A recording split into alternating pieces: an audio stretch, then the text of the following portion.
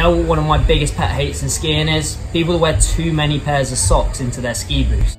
People wear too many pairs of socks in ski boots because they think their feet are going to get cold. Multiple layers think people are going to therefore warm them up and keep their feet warm during the day. In actual fact, in actual reality, what's going to happen is those socks and those layers are all going to rub each other inside the boot. This is going to cause pain inside your boots. It's what most people perceive as boot pain and therefore think their boots are hurting. I can feel the smallest wrinkle in my boot that's going to cause me a bit of pain as I'm skiing.